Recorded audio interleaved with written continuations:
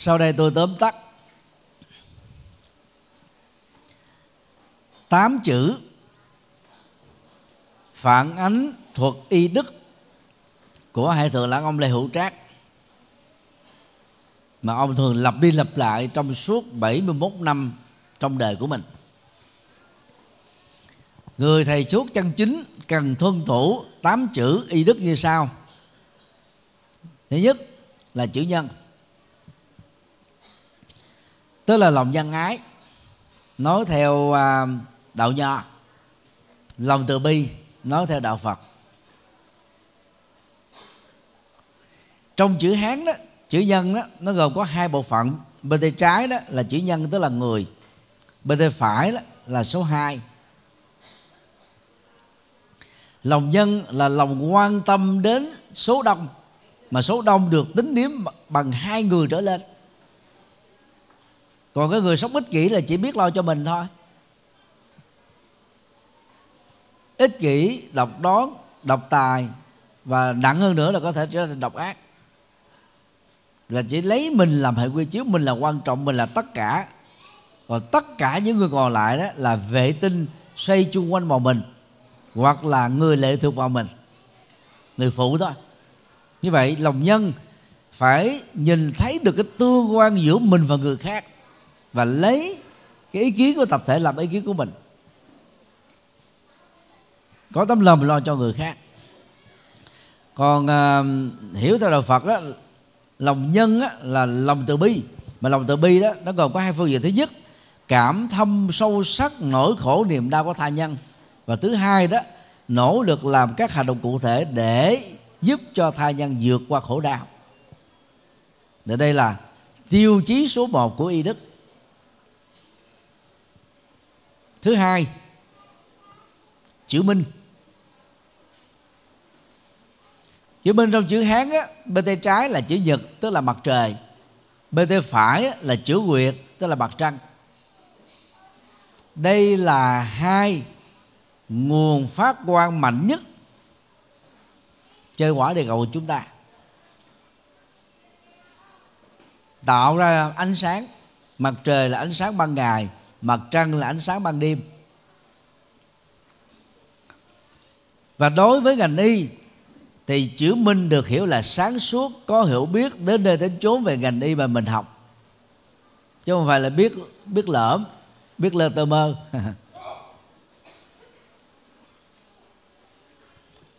Tại sao càng phải, càng phải có chữ minh? Bởi vì nếu mình không có kiến thức đầy đủ thì việc điều trị bệnh có thể chẳng đoán sai, mà chẳng đoán sai có thể dẫn đến chết người.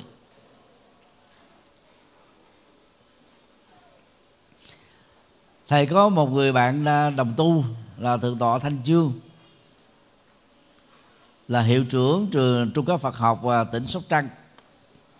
Thì mỗi khi à, lên khám bệnh ở chợ rẫy đó, thì thượng tọa ghé chùa giác ngộ. Vì chùa giác ngộ ở chợ rẫy đó là cùng con đường Nguyễn Chí Thanh thì thầy thường nói đùa ấy ai muốn có sức khỏe thì vô bệnh viện chợ rẫy ai muốn có trí tuệ và hạnh phúc thì vô chùa giác ngộ. Ai vô chùa giác ngộ thì có rủi ro vô chợ rẫy. Tức là mình không có học không có tu. À, tu phước tu trí tuệ thì dễ à, bị rủi ro bị tai nạn. Cái mình sáng suốt thì mình ít bị. Và khi điều trị bệnh á thì bệnh viện chợ rẫy được xem là đẳng cấp nhất gì của Việt Nam nè. Và đứng thứ nhất ở tại miền Nam. Nhưng bao lần chữa bệnh đó thì các bác sĩ chuyên khoa vẫn nói không có bệnh. Rồi sau đó đi qua bệnh viện à, đại học y dược là nơi mà đào tạo ra ngành y tại miền Nam. Đó là các giáo sư tiến sĩ bác sĩ hàng đầu của Việt Nam. Cũng nói là không có bệnh. Nhưng mà cứ đau nhói trong cơ thể hoài vậy đó ở vùng ngực thì tái khám cũng là ba bốn năm trời, cũng không phát hiện ra bệnh. Đi qua bên Singapore phát hiện ra bệnh đến giai đoạn cuối, mấy tháng sau, liệt cõi đời. Thì đó là cái giới hạn của ngành y, tức là người ta chỉ chẩn đoán trên những gì đã được học thôi. Được định đó, định danh đó là cái bệnh gì đó. Còn nếu như mà nó không trồng trong danh mục của đó thì bệnh vẫn được thừa nhận là không có bệnh như vậy, nếu chúng ta không có cái sự hiểu biết đến nơi tới chốn thì có thể dẫn đến cái rủi ro này. Thứ ba là chữ đức, tức là đạo đức, phẩm chất cao quý, đức độ.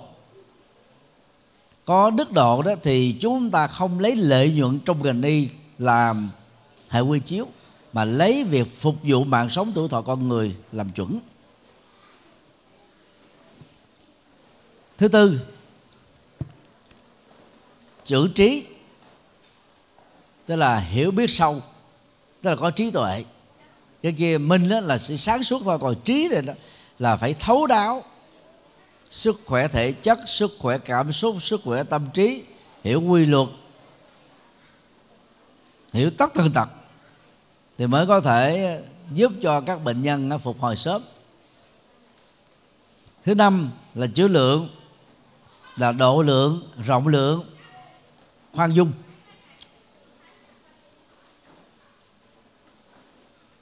Thứ sáu, chữ thành, tức là thành thực, chân thành, chân thực, trung thành.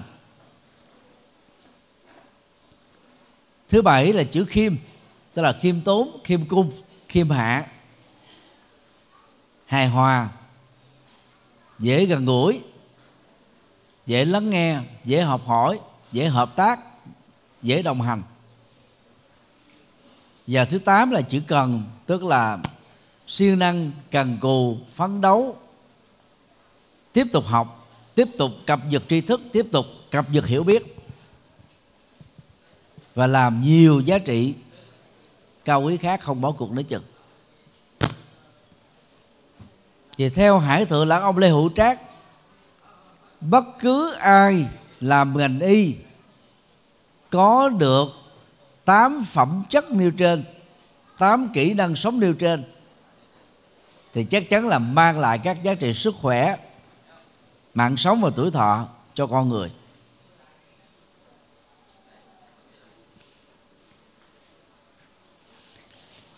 Ngoài ra thì hải thượng lãng ông còn nêu ra tám tội mà người làm ngành y đó tuyệt đối không nên phạm vào.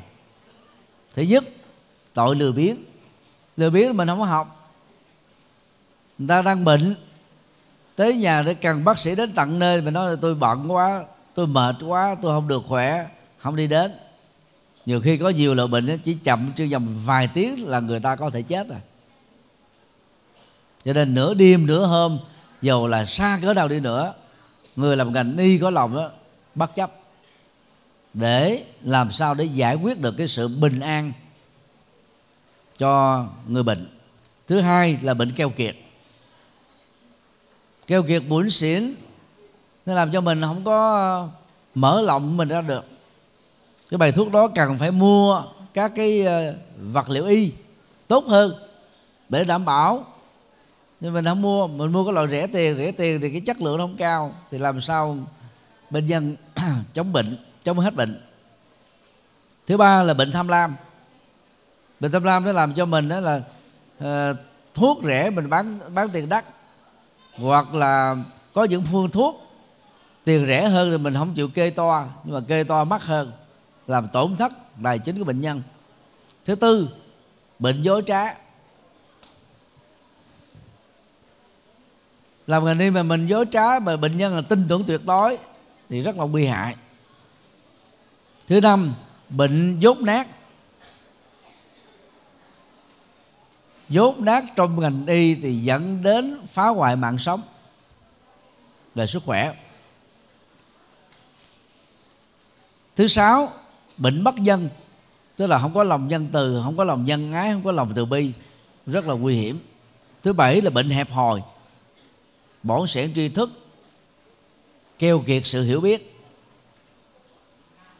tâm không rộng lượng không cao trí không lớn tinh thần không có hòa thì không có thể có cái sự chẩn đoán ha, của một tập thể y bác sĩ để có thể quyết định chọn là phương thuốc nào cách thức nào để đảm bảo sức khỏe và mạng số bệnh nhân.